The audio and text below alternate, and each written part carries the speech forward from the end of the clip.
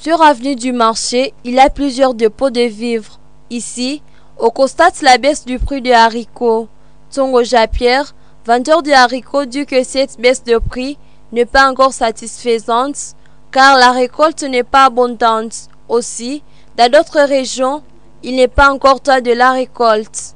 Le prix des haricots varie chaque fois la quantité et la, récolte. Quand la récolte est abondante, en abondance, le prix baisse.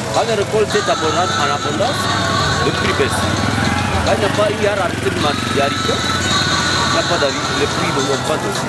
Heureusement que les haricots sont un tout petit peu qui venaient de vers les houttes et tout ça. Mais c'est terminé, il reste que presque terminé. Quand le temps était bon, les haricots venaient presque en bonne, à bonne quantité de, petits salés. Actuellement, ça vient de presque peu partout, tantôt au Zumbiro, tantôt au Rotu, Kibirisi. Depuis environ deux semaines, les habitants savourent cette baisse des prix et s'en réjouissent. Ils souhaitent que le prix continue à baisser et que les taux d'échange se stabilisent. On a essayé d'être en joie, mais ça ne suffirait pas jusque-là. Il fallait qu'on continue à baisser le prix jusqu'à ce que tout le monde se retrouve. Ah, puisque le taux, surtout le taux du dollar, ça monte du jour au jour. Euh, les autorités qu'ils puissent travailler surtout au, au, niveau du taux pour que le taux puisse baisser.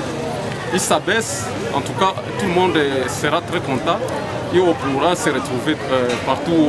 Les des restaurants se réjouissent de cette baisse. Anita a augmenté la quantité à préparer pour ses clients.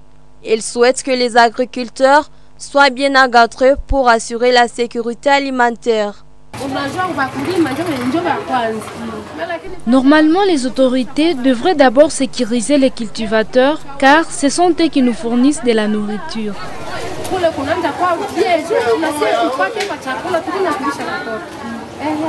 Le prix des haricots avait aussi pendant plus de deux mois en ville de Boutempo. Depuis deux semaines, les prix baissent graduellement grâce à cette période de récolte des haricots qui ne fait que commencer.